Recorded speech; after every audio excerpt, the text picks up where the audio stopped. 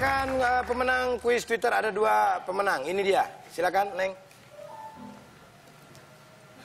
Ya, silakan Ya. baca. Walaupun kadang suka selisih paham, aku doakan mamaku panjang umur agar aku selalu bisa membahagiakannya. Iya, Karena At ini underscore talk show, at Oppo Indonesia, hashtag ini sahur 26 Oppo F3. Oke. Nur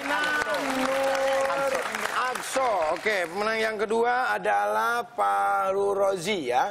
Ateng Rasta. Selamat. Ed Soleh underscore bersinar. Wah, udah Soleh bersinar lagi. Atas kelahiran anak kedua, semoga menjadi keluarga yang berkah dunia akhirat. At ini underscore talk show. At Oppo Indonesia. Hashtag ini sahur 26 Oppo F3. Selamat ya.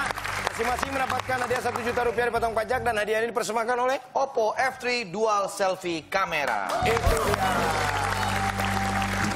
Oke, Andra yang mau ditanyain? Ya, eh, mungkin hari ini apa perasaan kamu untuk hari ini dari Anal? Atau enggak gini tiga kata deh yang membuat kamu bahagia hari ini. Kamu bahagia hari ini. Tiga kata. Dapat kabar pacar. Dapat kabar pacar. Oke. Mana?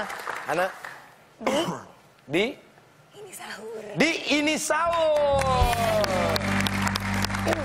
Irfan Hakim, silakan.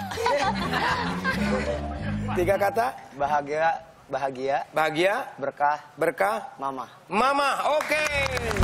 Bahagia berkah mama. Itu dia ya. Oke. Ketemu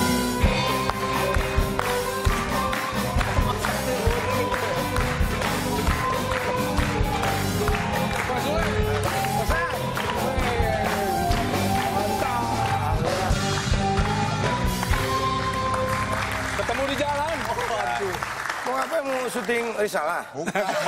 Ah, terus? Saya mau ke masjid, Le. Masya Allah. Iya, ke masjid Istiqlal. Cuman saya mau lewat Serpong.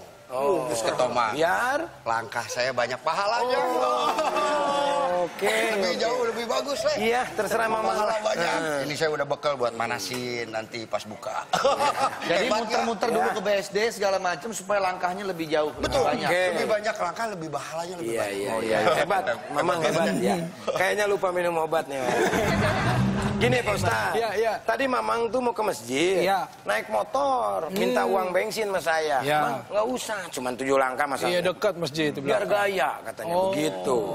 Nah saya bilang, Mang, Mamang mendingan jalan kaki. Jadi setiap langkah itu ibadah. Dapat pahala. Saya bilang begitu. Akhirnya begini. Muter-muter biar banyak katanya pahalanya. Nih gimana nih menurut Pak Ustadz? Mamang. Baik, sebelumnya saya sampaikan salam, salam yang terbaik, salam para malaikat kepada para penghuni surga. Assalamualaikum warahmatullahi wabarakatuh. Jadi intinya keutamaan sholat di masjid. Ya. Keutamaan sholat di masjid itu memang kalau kita lihat eh, ada beberapa yang kita harus catat pahala-pahala yang mengikutinya.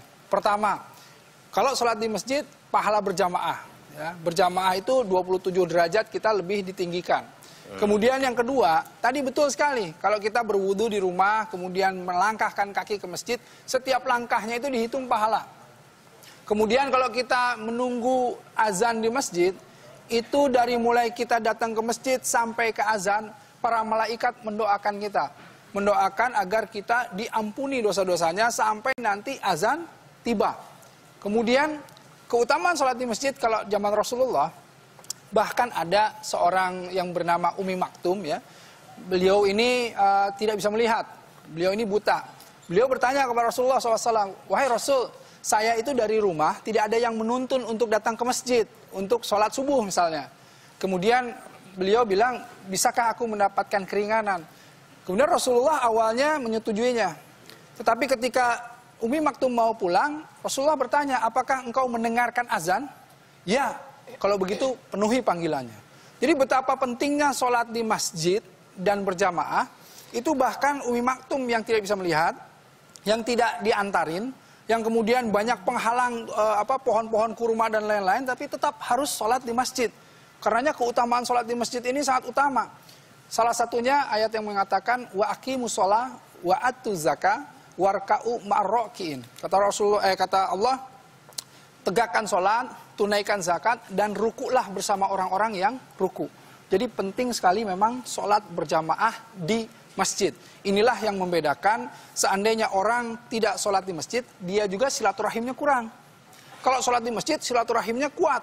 Jadi setiap orang bisa melihat, oh siapa-siapa yang datang ke masjid. Ketika salah satu orang saja tidak datang, kemudian ditanya, ke mana nih si, si Anu ini nggak datang, si Fulan ini. Oh mungkin sakit, dia akan langsung dijenguk oleh orang-orang yang biasa berjamaah. Jadi mempererat salah satunya persaudaraan. Jadi kalau kita lihat kebangkitan umat, itu juga ditentukan dari sholat berjamaah, terutama sholat subuh berjamaah. Itu yang paling sulit. Gitu, Nah, kira-kira. tuh, Mamang, paham nggak?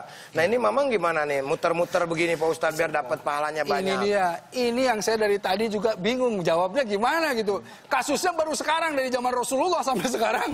Baru ada kasus mamang ini yang ingin jalan jauh keliling-keliling baru sampai ke masjid gitu. Tapi kan bukan berarti begitu ya. Bukan berarti begitu, artinya begini, proporsional saja. Allah itu tidak mau memberatkan. La yukalifullahu nafsan illa wus'aha. Allah nggak pernah membebankan seseorang di luar kemampuannya. Jadi kalau kita mau ke masjid, ke masjid saja yang terdekat. Ya, kalau kita ingin ke masjid yang jauh safar silahkan mau eh, ke yang jauh safar. Tapi kalau seandainya tadi mamang ada masjid dekat, tapi ngeliling dulu untuk apa? Begitu. Apa namanya memberat-beratkan diri, kemudian menyusah-nyusahkan dirinya. Padahal ada yang lebih tepat, yang dekat, yang lebih efisien, yang kemudian bisa di sana juga mendapatkan pahala-pahala yang lainnya. Gitu. Tuh, begitu, Mang. Nggak dihitung kan kalau begitu mah Pak Ustadz? ya kan? Tuhan itu dia. tahu. Walau alam ya. Mudah-mudahan masih dihitung sama Allah karena ketidaktahuannya. Tapi kalau sekarang sudah tahu, ya sudah jalankan saja yang proporsional. Gitu. Sebetulnya mah Mamang udah tahu, cuman biar pengen nambah gitu Nah, mah. Jadinya ke BSD dulu, malahan mau ke ke mana Ukraina segala. Mau nanya mungkin yang Hana atau Ana? Iya, Ya, Ustadz aku ya. mau nanya, kan kalau misalkan buat perempuan itu kan kita kan ada halangan kan. Ya, ya. Bener nggak sih kalau misalkan pas lagi halangan itu kita nggak boleh nginjekin masjid atau Oh. megang Al-Quran? Baik, baik. Kalau untuk perempuan pertama ya, keutamaan sholat di rumahnya. Ya, kalau perempuan nih, wa buyutuhuma eh, khairul lahunna. Jadi artinya kalau buat perempuan-perempuan mereka itu rumah-rumahnya yang paling eh, utama. Kemudian yang kedua, boleh datang ke masjid. Ya, sebagaimana Aisyah radhiyallahu anha waktu itu datang ke Masjidil Haram kemudian mendapatkan halangan. Nah, yang tidak boleh adalah tawaf karena tawaf itu sama dengan sholat. Tetapi di sana berzikir ya, kemudian eh, berdoa di masjid itu boleh. Nah, jadi sebetulnya untuk para perempuan kalau seandainya mau ke masjid dalam keadaan berhalangan juga boleh. Tetapi tentu kalau seandainya tadi utamanya untuk wanita itu sholat itu di, di- di rumah-rumahnya, ya sudah di rumah saja gitu. Kalau Al-Qurannya gimana tadi Pak Ustadz? Boleh. Boleh Jadi nggak? ada dua pendapat kalau dia dalam memegang Al-Quran. Ada satu yang kemudian tidak boleh eh, memegang artinya eh, musafnya. Jadi pakai apa namanya eh, digital eh, apa namanya handphone dan lain-lain. Iya. Ada satu lagi yang kita harus dengan eh, misalnya sarung tangan atau misalnya selendang untuk memegang musafnya. Ada dua pendapat seperti itu. Ini hanya untuk supaya menjaga kesucian dari musaf Al-Quran. Jelas ya, Mamang jelas ya. Nggak perlu ke Serpong, nggak perlu ke BSD, ya kan? Yang penting niatnya ikhlas ke masjid, itu ya Pak Iya, Ustadz ya. Terima kasih Pak Ustadz pencerahannya di pagi hari ini. Terima kasih juga. Eh, Nuna. Terima kasih Hana. Terima kasih. Ya, terima kasih juga buat penonton sangat luar biasa pagi hari ini. Terima kasih. Jangan lupa ya, nonton terus ya. sahur setiap hari jam 2 sampai dengan jam Betul. setengah lima ya. Mohon maaf apabila ada kami di sini cuma hiburan ya. Ya, selamat menunaikan ibadah puasa besok. Dan insya Allah besok kita ketemu lagi masih di Ini